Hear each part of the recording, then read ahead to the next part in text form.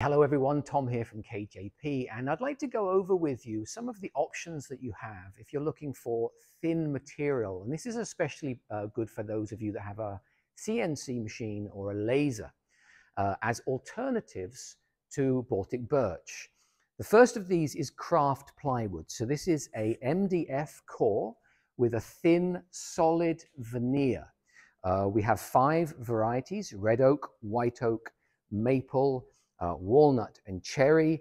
Uh, and of course, these will need to be finished with a varnish or a, a clear, uh, a clear finish after you've done your project.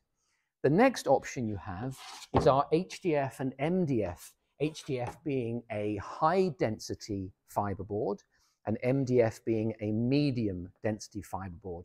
If you have a laser, you're going to have a hard time getting through thick high density fiberboard. This is why we provide a medium density fiberboard. Again, perfect for projects. You'll probably need to finish this one as well. Uh, a nice, stiff, dense project uh, uh, wood. So that's another option that you have. Our newest product is called All Birch Plywood. This is a really nice alternative to Baltic birch.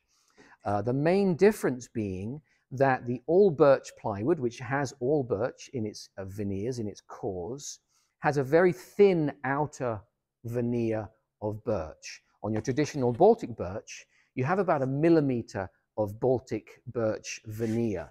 On the all birch plywood that we sell, it's a much thinner veneer. Now, we haven't had any trouble with our craft plywood, and that has the same very, very thin veneer.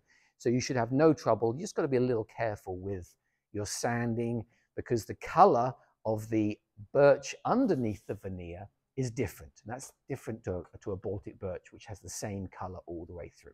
So those are the options that you have.